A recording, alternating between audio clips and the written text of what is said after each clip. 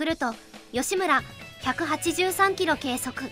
藤波の方が3キロ早かった。うちの吉村くんすげえだろ。でも藤波は186キロ出してるし人類最速ではないんだよね。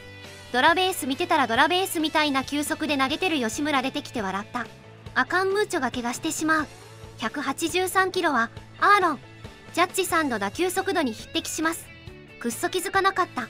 味方全員の面白球速の反動を一心に受ける吉村。日本記録すっ飛ばして世界記録出してるやん。よく星やめれたな。あかん。ヤクルト優勝してまう。あと3キロ頑張れ。チャップマン超えでくさ。これには藤波もびっくり。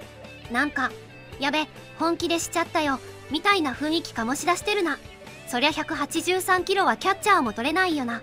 これが本物の魔改造やぞ。しかも縦スラで183キロだもんな。うおー今すぐメジャー行け。